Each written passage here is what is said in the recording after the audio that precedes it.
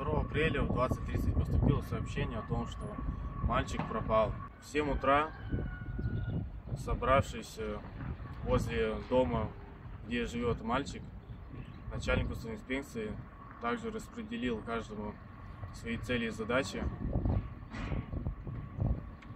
и сказал и идти всем цепочкой, пройдя примерно метров 200, я увидел вдалеке, что кто-то лежит. А рядом с ним сидит собака. Подбежал к мальчику и увидел, что это тот самый Плутон, который потерялся. Мальчик э, был в сознании. Далее мы взяли его на руки, отнесли с лесного массива к дороге, посадили его в машину и отвезли его в медицин- медицинскую primeiro bom dia.